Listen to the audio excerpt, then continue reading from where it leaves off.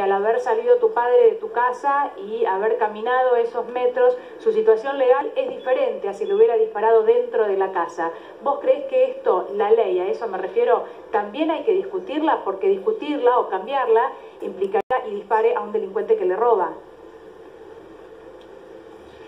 Eh, eh, yo no, no avalo a nadie. Eh, lo que hizo mi viejo es, de explicar.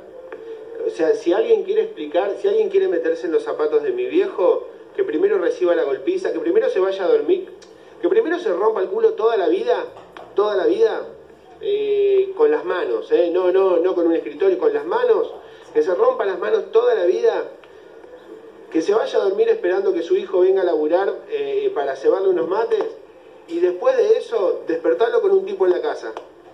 Después de que lo despierte con un tipo en que lo maten a golpes, que lo remueran a golpes. Y después de eso, pregúntale a ver qué hace. Después de eso, pregúntale.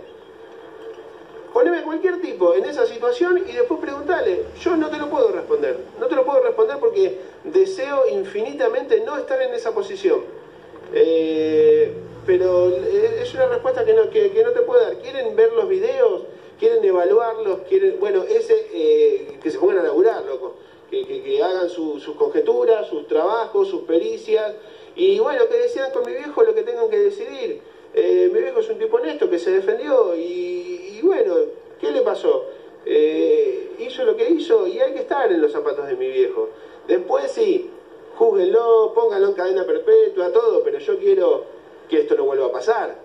Yo quiero que agarren y digan, no, esto no se puede hacer, ok, pero no me den otra posibilidad donde esto sí se pueda, donde esto sí pueda seguir pasando. Acá los oficiales en la novela no tienen un patrullero, pero cuando empezó el COVID, que, que los colectivos no andaban, las paradas las cambiaron todas de color, le sacaron el amarillo y la pusieron toda de violeta, déjame de joder. ¿A dónde va la plata?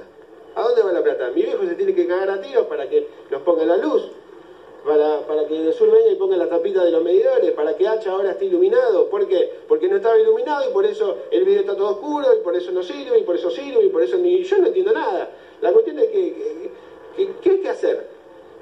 ¿Qué es lo que hay que hacer? Está la, calle rota, ¿hay que matar a alguien para que la vengan a arreglar? Déjate de joder. Lo que yo coincido eh, con vos es que es un debate que hay que darlo, el de la inseguridad y nadie puede estar en los zapatos de tu padre, absolutamente nadie, porque nadie vivió el hecho como vivió tu padre.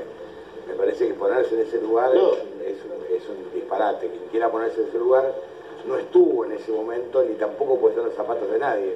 Pero así como decís vos, y coincido en esto, que es un debate que hay que darlo. No puede ser que estemos todos armados porque hay una delincuencia que ha ganado la calle. Es una locura. Es un debate ah, que... no, no, no, pero más vale. Y aparte nosotros, ¿qué pasa si nos vamos acá? Ah, hubo un chico que estuvo pegando eh, unos folletos, estuvo hablando sobre todas las propiedades usurpadas. Y eso es una realidad. ¿Por qué? Porque eh, la villa se expande. ¿Y cómo se expande? Usurpando. Entonces, si nosotros acá nos vamos, vienen, lo usurpan, ¿qué hace la vecina? Se tiene que ir. ¿Y qué va a pasar con la casa? Y la van a usurpar. Y es así en todos lados. E, ese es otro negocio que también existe. Usurpan, usurpan, se expanden y, después lo tenemos en todos lados. Eh, pero tenemos delincuentes que, que, no salen de la escuela de la delincuencia. Eh, no, hay, no hay una facultad, no hay una, la uva de la delincuencia. Hay un sistema social que está fallando y se generan eh, delincuentes y esto es una fábrica, es una fábrica de pobres y es una fábrica de, delincuencia. y entonces, ¿qué, ¿qué es lo que está fallando? Lo que está fallando es que hay gente que o no le importa o, le sirve, o, no sé, no sé. Yo, eh, esto son todas cosas, es un libro que me acabo de comprar y que recién voy por, por el resumen. No entiendo nada de esto. Yo le, acabo de decir a todos los muchachos, a mí, yo hago, soy sonidista, poneme una banda, la voy a hacer sonar bien. Dame un fierro, le voy, le voy a dar la forma que quieran. De esto no entiendo nada.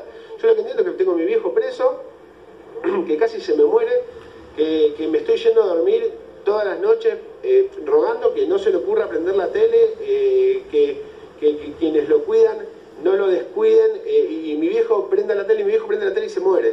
Mi viejo prende la tele, ve todo lo que está pasando, me ve a mí hablando, ve que yo estoy diciendo que nos tenemos que ir, que pierdo todo mi laburo, mi viejo se me muere. ¿Y de qué sirve esto? ¿De qué sirvió? Hay más muertos. Y hay más muertos y vamos a hacer más quilombo, y, pero mi viejo ya se murió. Entonces, no, no, yo no entiendo lo que pasa acá. Te mandamos